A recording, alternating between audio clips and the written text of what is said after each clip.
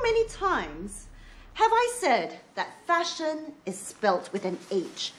H, H, H.